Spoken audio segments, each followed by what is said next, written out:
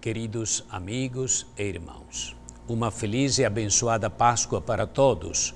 Ontem, Páscoa, e esta semana toda é Páscoa. Ressuscitei, estou convosco para sempre. Assim Jesus diz para nós. Jesus, crucificado e ressuscitado, repete-nos hoje este jubiloso anúncio. É o anúncio da Páscoa acolhiamo-lo com íntimo enlevo e gratidão. Ressuscitei e estou convosco para sempre. Nestas palavras, a Igreja reconhece a própria voz de Jesus, que, ao ressurgir da morte, se dirige ao Pai, cheio de felicidade e de amor, exclamando: Meu Pai, eis-me aqui, ressuscitei, estou ainda convosco e estarei para sempre. O vosso Espírito nunca me abandonou. E assim podemos compreender de modo novo ainda outras expressões do Salmo. Se subir aos céus, lá vos encontro. Se descer aos infernos, igualmente. Nem sequer as trevas serão bastante escuras para vós, e a noite será clara como o dia tanto faz a luz como as trevas. É verdade. Na solene vigília da Páscoa, as trevas tornam-se luz, a noite cede o passo ao dia que não conhece o caso. A morte e ressurreição do Verbo de Deus encarnado é um acontecimento de amor insuperável. É a vitória do amor que nos libertou da escravidão do pecado e da morte. Mudou o curso da história, infundindo um indelével e renovado sentido e valor à vida do homem. Ressuscitei e estou convosco para sempre.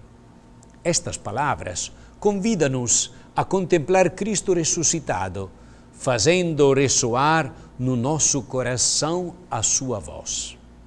Com o seu sacrifício redentor, Jesus de Nazaré tornou-nos filhos adotivos de Deus, de tal modo que agora também nós podemos inserir-nos no diálogo misterioso entre Ele e o Pai.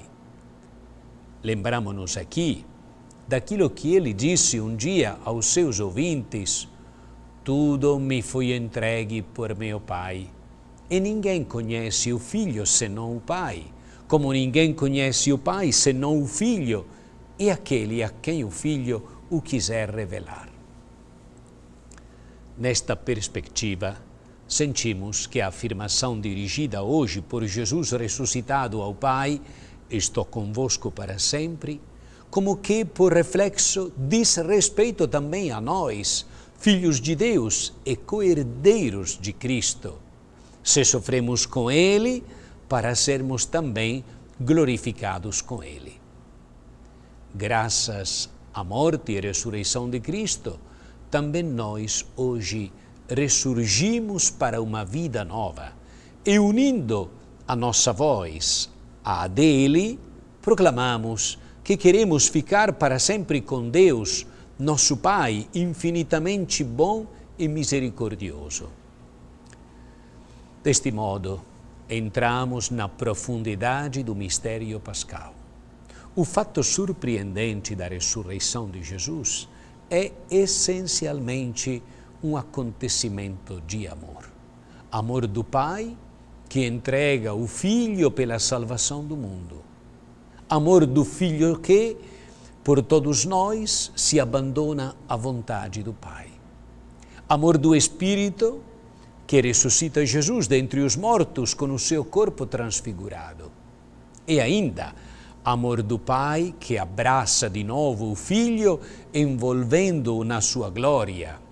Amor do Filho que, pela força do Espírito, volta ao Pai, revestido da nossa humanidade transfigurada.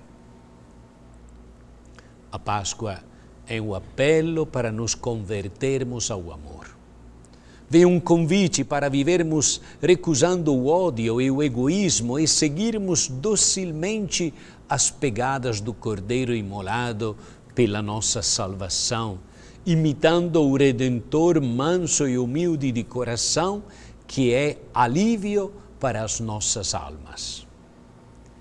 Que ninguém feche o coração à onipotência deste amor que redime.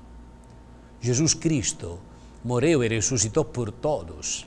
Ele é a nossa esperança, esperança verdadeira para todo o ser humano. Na Páscoa, como fez outrora com os seus discípulos na Galileia, antes de voltar para o Pai, Jesus ressuscitado envia-nos também por toda a terra como testemunhas da sua esperança e garante-nos: eu estarei convosco sempre até o fim do mundo. Olhando para as chagas gloriosas do corpo do Senhor transfigurado, nós podemos compreender o sentido e o valor do sofrimento. Podemos suavizar as muitas feridas que continuam a ensanguentar a humanidade ainda em nossos dias. Nas suas chagas gloriosas, reconhecemos os sinais indeléveis da misericórdia infinita de Deus, de que fala o profeta. Jesus é aquele que cura as feridas dos corações despedaçados, que defende os fracos e proclama a liberdade dos escravos, que consola todos os aflitos e concede-lhes o óleo da alegria em vez do hábito de luto, um cântico de louvor em vez de um coração triste.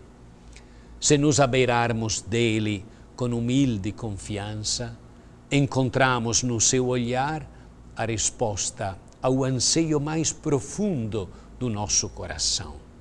Conhecer Deus é contrair com Ele uma relação vital, numa autêntica comunhão de amor. Imploremos a plenitude dos dons pascais, pela intercessão de Maria, que depois de ter compartilhado os sofrimentos da paixão e crucificação do seu Filho inocente, também experimentou a alegria inefável da sua ressurreição. Associada à glória de Cristo, seja ela a proteger-nos e a guiar-nos pelo caminho de solidariedade fraterna e de paz. Tenham todos uma Santa Páscoa. Em nome do Pai, e do Filho, e do Espírito Santo. Amém.